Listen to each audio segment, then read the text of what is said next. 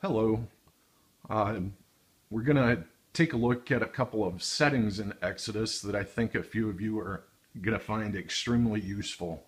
Uh, the first setting that we're going to talk about, and all of these settings are going to be in tools. Uh, the first setting that we're going to talk about is going to be uh, clearing the cache and clearing the providers. Uh, so what we'll do, and I'll show you here. Sorry, I'm again, I'm not a professional videographer. So we'll go into tools.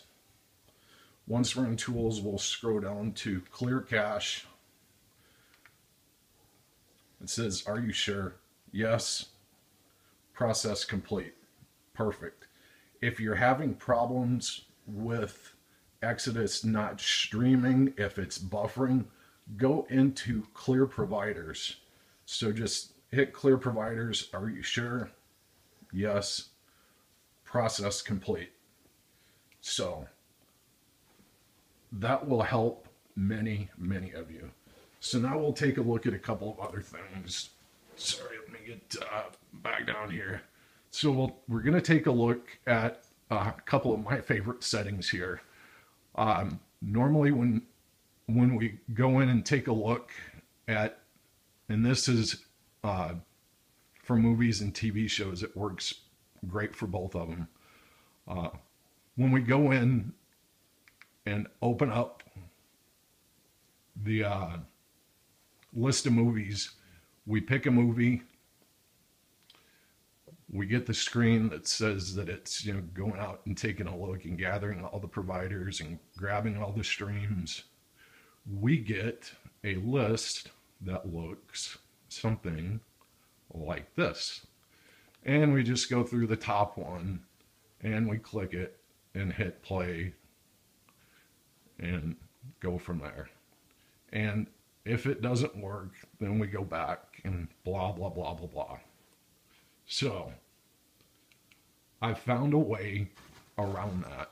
So what we're going to do, again, we're going to go back to the main Exodus screen. We're going to go back into tools. We're going to go up to the top into general. Now, once we're in general, I want you to go over to where it says playback. Once you're in playback, you'll see the first one, it says default action. Directory should be highlighted go to that and change it to autoplay. The next one that I want you to go down to is go down to the one where it says hosters with CAPTCHAs and put a dot in that. Once you're done with that, just go down to the bottom and select OK. We'll go back in and take a look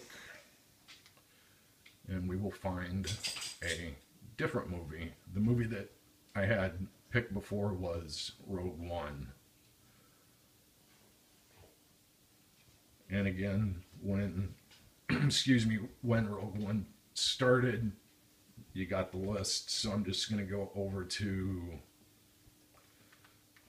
I'm going to go over here to passengers. So I've clicked on passengers you see it's doing its thing here. It says time elapsed.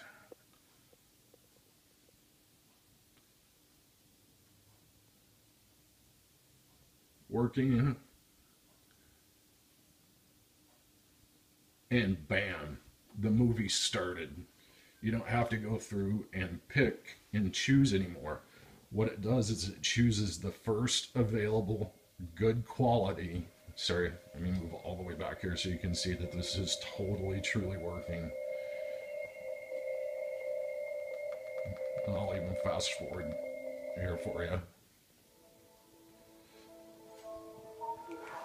And as you can see, it's in the 1080. So, again, we're going to go back. Just want to make sure everybody's up to speed on it. Go into General go over to playback once you're in playback, make that say autoplay. And then where it says hosters with CAPTCHAs, put a, put a dot in there. And then once you're done, make sure you select OK. If you don't select OK, it's not going to keep them. Um, and that is my tip for the day. Hopefully, this helps keep everybody's Exodus working smoothly. Have a good day.